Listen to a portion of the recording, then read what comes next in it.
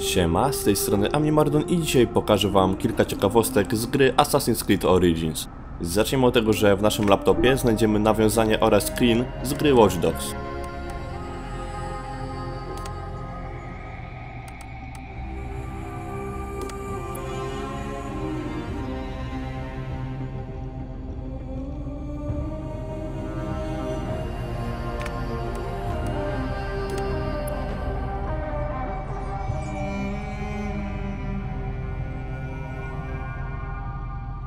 Oprócz tego znajdziemy tutaj też folder dotyczący Desmonda, czyli postaci występującej w pierwszych odsłonach cyklu.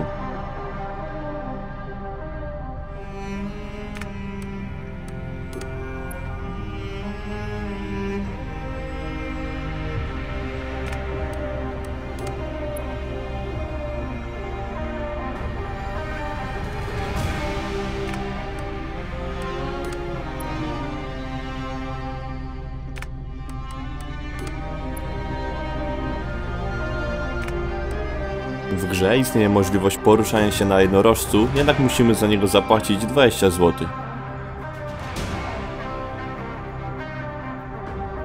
Na pustyni możemy doświadczyć wielu przewidzeń i niektóre z nich nawiązują do Mojżesza oraz do plag egipskich.